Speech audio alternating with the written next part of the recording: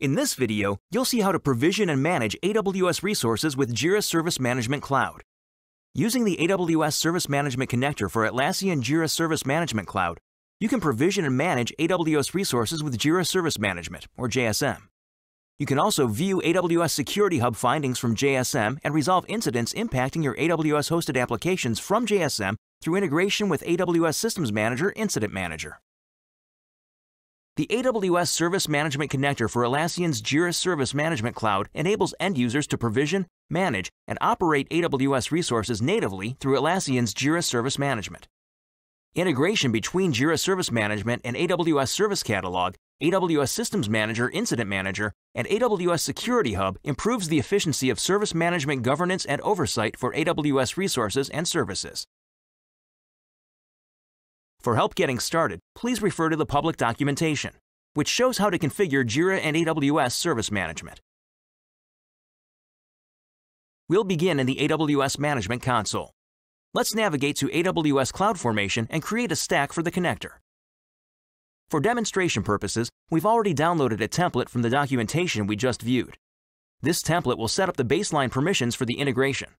Let's upload it now. We'll give the stack a name and proceed. Let's retain the default settings and create the stack.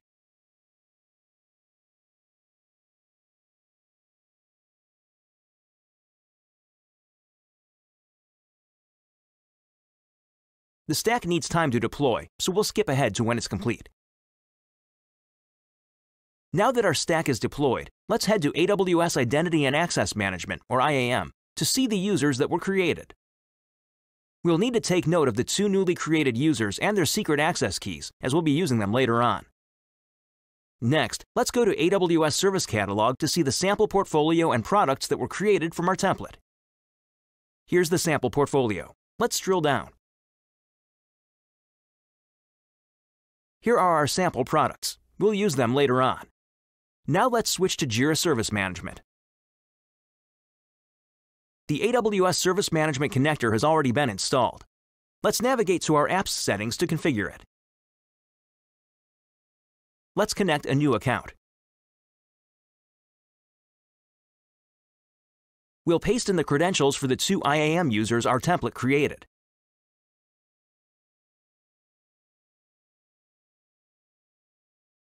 Next, we'll add our AWS region and test our connectivity.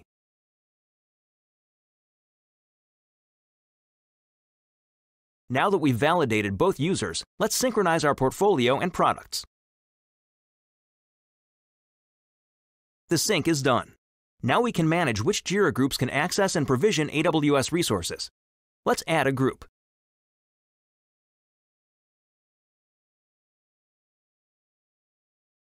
Next, let's take a look at the connector settings. All the features are enabled by default, but we can disable features that we'd prefer not to utilize. For our purposes, we'll retain the default settings.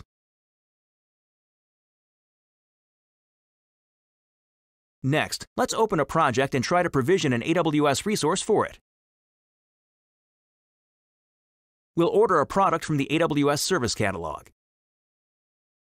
This product will provision an Amazon Elastic Compute Cloud or Amazon EC2 instance. We'll specify a VPC and order the product.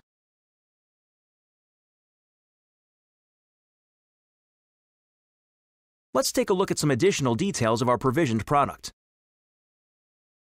Here are the settings. Let's wait for the provisioning to finish.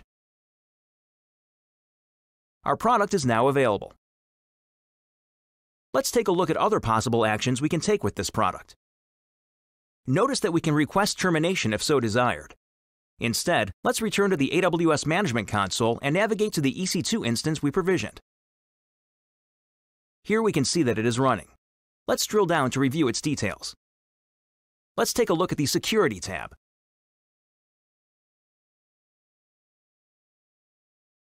Notice that one of the security groups allows access from any source on port 22. This is a security issue that will generate a finding in AWS Security Hub. Security Hub is already pre-configured to trigger an automation to remedy such findings. Here's the finding. Let's take a closer look. Let's return to Jira Service Management to view this issue there. This page shows Jira issues tagged as AWS Security Hub findings. Let's take a look at the details for this finding. Here is the AWS resource that is affected. We can also view any related findings and the AWS findings JSON code. Back again in the EC2 instance summary, we can see the inbound rules for our provisioned resource on the Security tab. The automation was successfully executed, and the inbound rule on port 22 has been removed due to being a security risk. As a result, the issue was automatically resolved in Jira. Next, let's look at AWS Systems Manager Incident Manager, where a CloudWatch alarm was triggered when CPU utilization exceeded the specified threshold. The incident response plan will try to remedy this issue by executing an automation document. Let's take a look at the Related Items tab. Notice that a JIRA incident has also been triggered. In the JIRA Service Management Console, we can see details related to the incident. Once this has been resolved, the JIRA end user can mark the incident as resolved directly from the JIRA Service Management Console. Now let's return to Incident Manager and refresh the view. The incident has a resolved status here as well. You've just seen how to provision and manage AWS resources with Jira Service Management Cloud. You can learn more about this topic in the description and links for this video. Thanks for watching. Now it's your turn to try.